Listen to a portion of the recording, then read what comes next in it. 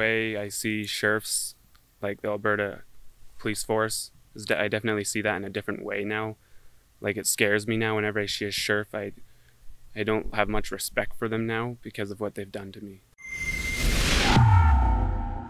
You may recall the story of Jeremiah Leussink. He's a young farm boy in rural Alberta who was pulled out of his tractor by his neck, pushed onto the pavement, and given scars that he has to this day. He was also punched in the face by Alberta sheriffs in an act of police brutality that is rarely seen in Alberta.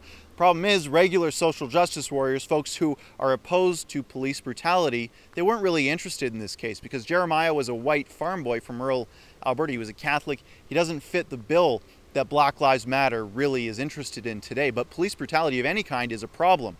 And this, what happened to Jeremiah, was particularly egregious. The news today well, the government of Alberta, their prosecutors, have dropped all charges against Jeremiah and the charges that were ascribed to his brother. I spoke with them today at their farm. They took a few minutes out of their harvest to speak with me about what went on and why they think the charges were dropped. Well, I'm sure they saw the situation I was in and everything that happened to me.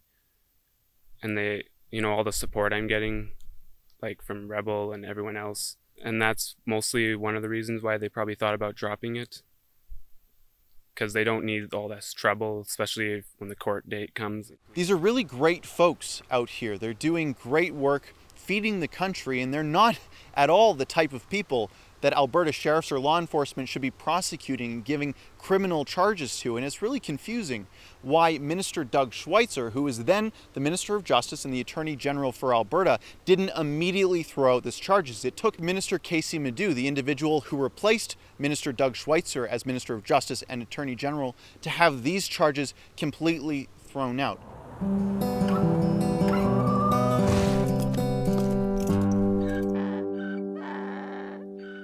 I was grateful that I was able to speak with Jeremiah here today. The first time I came out to their farm to do the initial story on this, he was still too traumatized by what happened to speak on camera. He was also worried with pending criminal charges that he might incriminate himself. Since those charges have been dropped, he was happy to speak with me, and I was really glad we were able to tell his story fully, to let Albertans and Canadians know exactly what the consequences are for having a police force that is so out of touch with rural Alberta. The RCMP ships in officers from Montreal to police rural southern Alberta, central Alberta, northern Alberta, across the country. They're shuffling a deck of officers.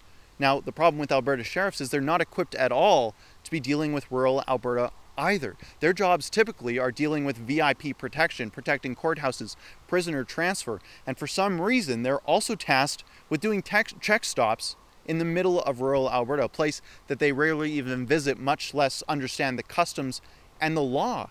See, the tractor that Jeremiah was in wasn't subject to the same laws that vehicles that everyday folks drive on the highways is. You don't even need a driver's license or a license plate to operate those vehicles, the tractor. But the police didn't know that, and the consequences were dangerous and violent for Jeremiah, leaving a scar that he has to this day. When I was approaching the check stop, which I didn't know what it was because I was too far away from the sign just to read check stop on it, I saw the lights though, and there's probably about 10 vehicles, 9 or 8, 10 vehicles lined up, so the sign was still too far away to see when I approached the lineup. And then like, oh, my field's just down the road a little bit. I might as well just take the ditch the rest of the way, know, hit my field. So I got into the ditch, and as I was uh, driving in the ditch, I saw this check stop sign, and like, oh, so I'll just keep driving until I get there and see what happens. And when I got to about there's a crossroad when I got to just about where the crossroad was there's a sheriff waving me to stop and he had a mask on and gloves. So I thought this had to do something with COVID maybe actually like checking for COVID breath. And I'm not going to stop in the ditch because there's quite a steep slope there. It's just too dangerous. So I drove up on top of the crossroad. And I, I thought I'd maybe stop there. And I wasn't even barely on the crossroad and a sheriff comes behind the vehicle and just slams the fender as hard as he can. And that's that's what made me mad. And like you know it scared me at first like what the heck is he doing? And I look behind me and there's a sheriff there. And I so I stopped the vehicle and the tractor rolled to a stop. And I opened my door and asked him what he wanted. And then I couldn't quite make out the words he said but I know from hearing the recording later, he said this is a mandatory alcohol screening check stop. But I never heard those words. The tractor, he was still too far away, and the tractor was running. And then when he finally came to about where the door is, I could hear him better. Mm-hmm. And he asked me to shut the tractor off. And I said no because got to put the park brake on, then give it a few minutes to cool, then I can shut it off safely and then walk out of the tractor. And I, so I declined that. And then he asked me to do a breathalyzer, which I thought, still thought was for COVID 19 because you know they're wearing masks and gloves and all that stuff and like what would they be doing why would they be doing breathalyzers for alcohol when there's covid going on? Yeah. And so i said no to that and then he asked me maybe one more two one or two more times and i said no. And then and then he asked me to or actually he never asked me he asked me one or two times and then i said no. And then right away after that, he said, You're under arrest. And he climbed into the tractor like really fast and started grabbing me. Mm-hmm. And, you know, I'm, I'm, like, Whoa, the park brake's not on. The tractor's not even off. You think I'm getting out of the tractor like that? The, it could roll, it could do anything. It's dangerous. And so I was holding onto the steering wheel and the seat. Like, I'm not getting out of the tractor in this situation. And, he, and then he's, and then a sheriff came up from behind him and gave me a good whap in the face with his fist. And that's when I started bleeding because, you know, he hit my nose real good and my whole face right here. And so there's blood going everywhere. And then I was choking on blood. And then the sheriff pushes me, my face to the ground. And so I, and then he's like, "You're resisting arrest." And I'm like, "No, I'm not," because he's on top of me. I can't move. And I, and I couldn't even tell really what was going on. But I think a sheriff came around the door and opened the other one, and he's pulling on me from there. That's what it felt like. So I was being pulled from like two directions, and then plus a sheriff on top of me, and and I kept telling him I can't move, I can't like I can't move, I don't. What are you doing? Get off of me!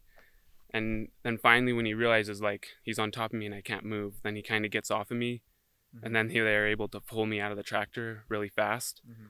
And I barely, when I ran, fell out of the tractor, I barely landed on one leg, but like you saw in the video, the sheriff's took most of the fall. One went flying down.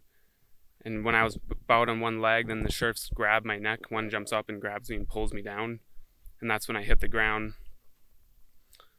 And then they handcuff me. And then about when they handcuff me and they check my pockets and everything for weapons, which I don't have any weapons, except a knife. They call that a weapon, I guess.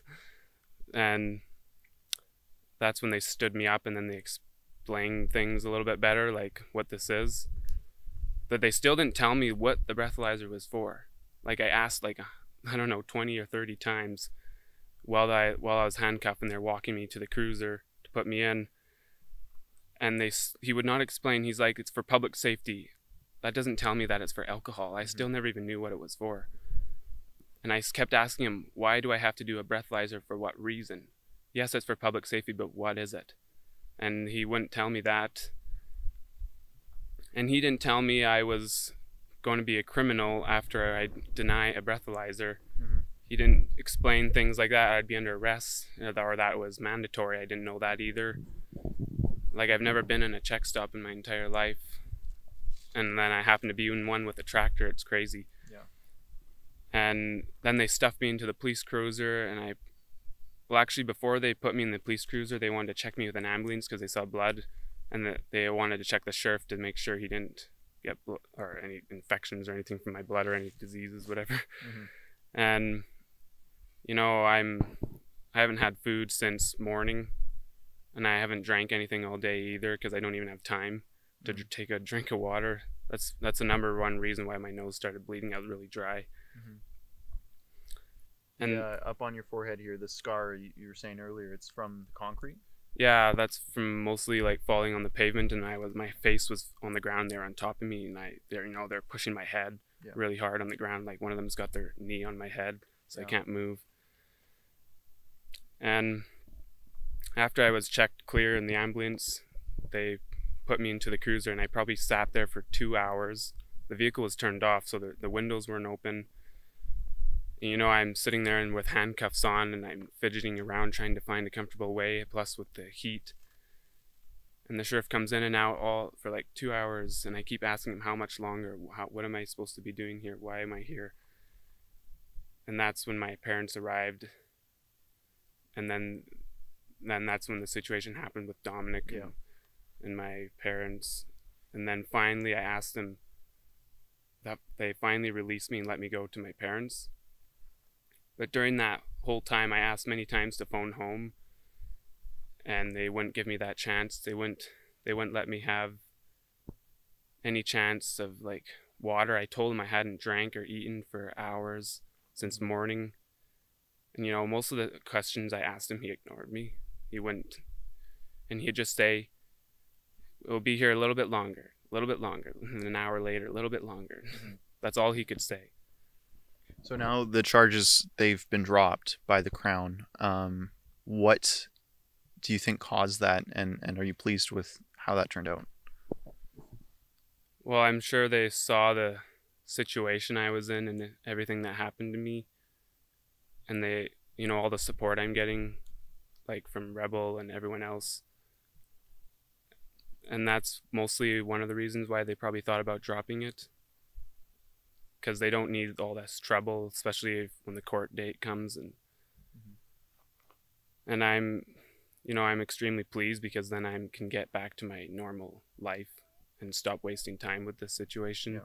So that's definitely why I'm mostly pleased. But the it's still not over yet, I guess. You still have a problem with your Yes. learner's permit, your driver's license that hasn't been returned to you, even though you don't need a, a driver's license to operate a tractor on a highway. That's not actually a requirement, but they still they've confiscated your license or or, or what what's going on there?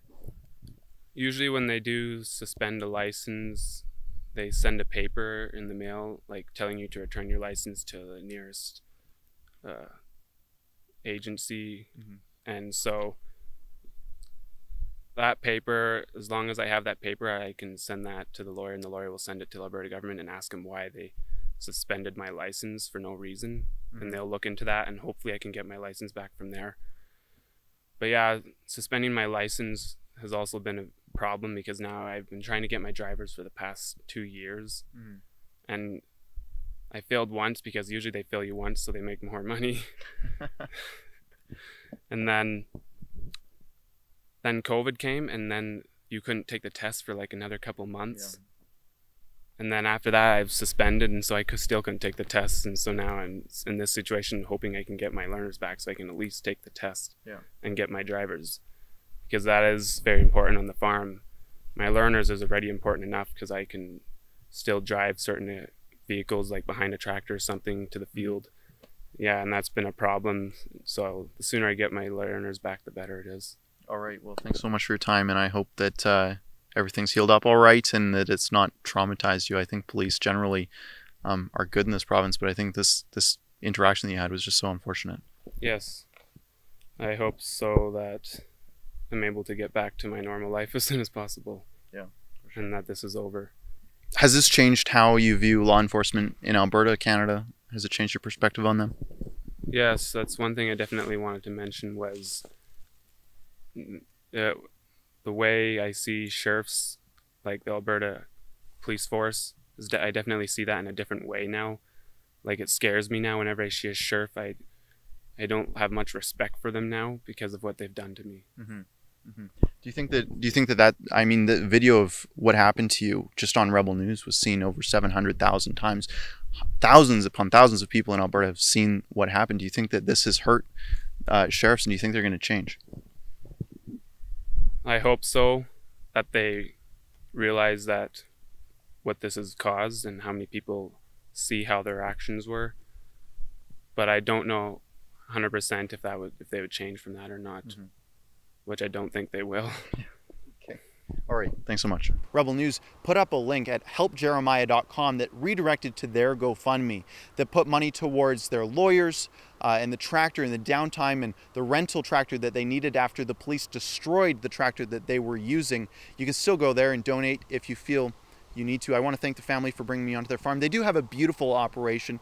Uh, they have sheep, donkeys, horses, cattle. They even had a few roosters and a few dogs. I'm sure Catherine McKenna would have been a great fan of this place. I want to thank, thank them again for allowing me to share their story about what is going on because the mainstream media certainly wasn't interested in doing it. They did put out a few pieces on it, but immediately that coverage died down. See, the mainstream media wasn't interested in this story at all. Sure, they sent one or two reporters out in the first place, but really their heart wasn't in this story because they don't care about rural Alberta. It was Rebel News' story hitting over 700,000 views that I think contributed to the social pressure against the Crown prosecutors and the Ministry of Justice that caused this to be dropped. I really think that's true, and I want to thank you, the viewer, who may have gone to helpjeremiah.com to pitch in a few bucks to help out their family, or maybe you shared the story with your friends to point out this egregious case of police brutality in rural Alberta. It's not okay wherever it happens, and even though the social justice warriors at Black Lives Matter didn't care about this at all, I'm glad that you did and you shared the story. And it's important that we let folks know that the charges were now dropped because of the pressure that was put on the government and the Crown prosecutors. In rural Alberta, just outside of Sundre, I'm Keean Bexte for Rebel News.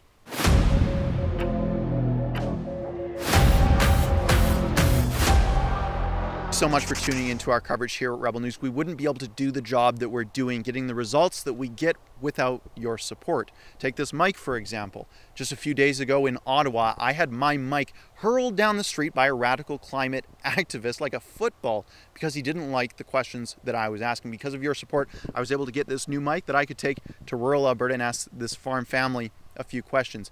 If you want to go to helprebelnews.com, you can pitch in a few bucks to keep myself and my cameraman, who's behind the camera right now, on the road covering stories that the mainstream media certainly is not.